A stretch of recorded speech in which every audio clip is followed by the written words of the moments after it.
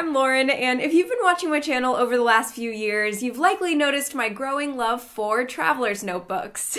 Today I wanted to review two TN covers from Webster's Pages, which is the first company that I ever bought a traveler's notebook from. First, one of the older regular size Color Crush notebook covers, and then one of the newer suede pocket size ones. Now that I've been using both of these for a while, I wanted to talk a bit more in depth about them than I have before. In case you're considering buying a traveler's notebook yourself and you're comparing a lot of different brands because now there are a lot more companies that make them, so it can be a little trickier to narrow it down. Mine are also not new covers anymore, so you'll be able to see how they wear over time. Just because I feel like I should say this, this is not a sponsored video in any way. I bought both of these covers myself and I decided to review them on my own. Though I would love to work with Webster's Pages someday if they will have me. so back when I bought my very first traveler's notebook, I decided to buy the Webster's Pages regular size in the color Sedona. I was incredibly excited at the time. I had been doing a ton of research on traveler's notebooks online and I could not wait to get my hands on one. Something about the whole system just really inspired me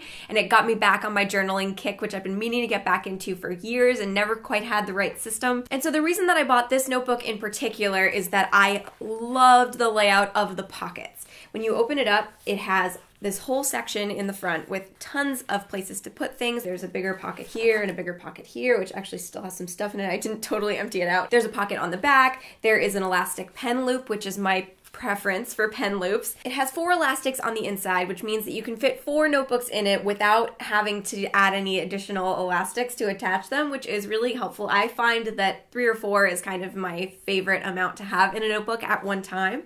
I don't like when they get too thick, but I don't like when they're too thin either. I think that's kind of the perfect happy medium. And the whole thing closes with a single elastic band that you wrap around the whole thing. It's a little bit loose right now because there are no notebooks in it, but I actually feel like it holds it closed pretty well. All of the Webster's Pages notebook have this little tag, which I find really helpful because I like to grab it and pull it in order to take the elastic off of there. But I'm not sure how I would take this tag off if I decided that I didn't want this to be the charm on my notebook. I actually have added a different charm on top of that that I put kind of in the center. So once I got this notebook, I filled it up with a bunch of refills from Traveler's Company as well as the blank Webster's Pages one that came with the cover. I've been in my daily Traveler's notebook almost every day for more than a year now. I have a travel journal that I don't work on quite so often because I'm always really busy on trips, but I do want to get better about that. But I really love the system itself, and I've been pretty happy with this cover as a whole. This thing has come with me on a lot of adventures. My favorite thing about it by far are these pockets. I've been able to fit so many extra things, which is really helpful when you're traveling. Being able to store a ton of supplies like stickers and extra pieces of paper and things like that, as well as your pen, is super helpful with a traveler's notebook because when you do travel, you don't want to be bringing a ton of stuff along with you. And having it mostly contained in this package is extremely helpful, and really functional. I haven't tried a ton of different traveler's notebooks, but this is definitely my favorite layout as far as pockets go. I found it to be the most functional for what I find myself wanting to carry in my notebook. Another thing about these notebooks is that they do fit the regular size Traveler's Company inserts, but they are wider than the Traveler's Company covers. That means that you can fit more notebooks inside of here without them spilling out along the edge. It means that if you have a pen in the pen loop and you close it all up, there is enough room for the pen along the edges of the notebooks, which is very helpful. One downside is that they are not quite wide enough that you can reach into the pockets without closing your refills first, so I have to kind of stop what I'm working on in order to access these pockets, but it hasn't really been that much of a hassle. The downside that I have been experiencing with this cover after having used it for more than a year is that I don't really like the way it's wearing over time. This is not real leather, which is a plus for a lot of people. There are plenty of ethical reasons to not use leather, and so if you are looking for a traveler's notebook that is not made out of leather, this is a really good option. And honestly, it's one of the reasons why I chose this first over the original Traveler's Company covers. But as a result, I've been a little bit jealous of all the people on Instagram whose Traveler's notebooks have just worn down beautifully. Leather gets nicer and nicer the longer you use it. And with something like a notebook that you're carrying around with you on all of your travels, it's going to look like you've been through so many things in a good way. I've only been using this cover for about a year, but I have started to notice that it doesn't look quite as good as when I first bought it. And that's a little bit of a bummer for me. I assume that that is just the nature of the faux leather material, but it is still holding up. It's still durable. It's not falling apart in any way. It's hanging in there. It just doesn't look quite so nice as all of the older Traveler's covers that I've seen. I have to admit that when I first started researching Traveler's notebook covers, the leather ones didn't really seem as appealing to me as the faux leather ones. And I, over time, am kind of starting to realize why people like the leather. Obviously, that's a personal choice. There's nothing wrong with the faux leather, and honestly, I prefer it to the suede, which I'll get to in a little bit. But for that reason, I've been kind of looking into other covers and seeing what might suit me a little bit better. A while later, Webster's Pages released their pocket size line, and that was very exciting to me. Their pocket size fits the field notes inserts, which are very popular and really cute, but they also have a little bit of extra width similar to their regular size notebooks. That way you have space for a pen and lots of notebooks if you want to try and cram them in there. They chose pocket size instead of passport size, which is what the original smaller traveler's notebook size is called. The passport inserts do still fit in there, they're just quite a bit smaller than the cover itself. Pocket size is just as wide but taller than the passport size. I was really excited when they announced that they'd be coming out with these, and I bought the mustard suede pocket size pretty much right away when it became available. But I have to say, after a while of using this, I have several issues with it, and I do not like it as much as I liked my regular size cover. I picked the mustard suede color, and I absolutely love this color, but what I like even more than this color is when you open it up,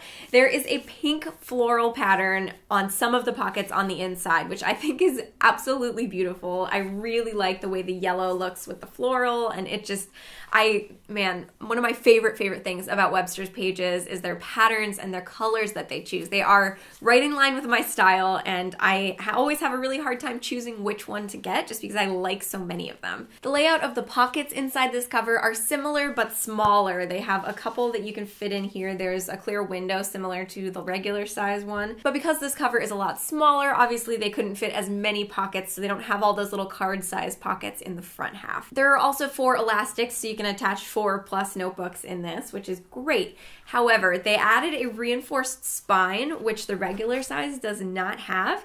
And I have several issues with this spine. The spine, I think, is what I have the biggest problem with with this cover. So the main problem that I have with this reinforced spine is that when you put four inserts, one on each of the four elastics that are in here, there is a lot of extra space on that spine. And so the notebook feels empty and also larger than it needs to be. And with a smaller sized notebook like this, I want to be able to take it places and put it in my purse. And so if it's bigger than it needs to be, it takes up a lot more space than necessary. One of the things I like about the notebook that doesn't have the reinforced spine on it is that if I only had maybe two notebooks inside here, I could flatten it almost completely and it would be great. But if I wanted to have a ton of inserts in here, I could actually widen it and it would still look good. I definitely don't feel like I need to have more than four inserts on a little travel size notebook like this.